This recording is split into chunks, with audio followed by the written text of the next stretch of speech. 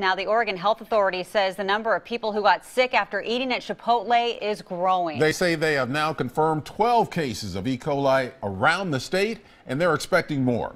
Cora Harlan has the latest on this outbreak.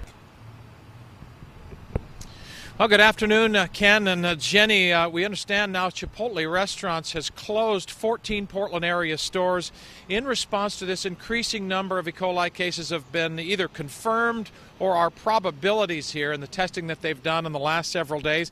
And we also learned from our news briefing this morning here at the Oregon Health Authority that uh, people are beginning to report similar symptoms, bloody diarrhea and severe diarrhea, in Columbia, Benton, even Deschutes County in central Oregon.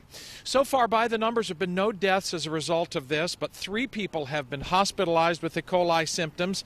The health authority now says that people who ate at a Chipotle restaurant in the Portland area after October the 8th could be at risk of developing symptoms here. We're told typically they take about three to four days to materialize after eating, but they can take as long as 10 days, and they do expect that number, as we mentioned, to grow. Meanwhile, the uh, federal government is also involved here. Food samples have been collected from the restaurants in question here. They're now at an FDA testing lab in the Seattle area testing foods that have been collected from Chipotle restaurants.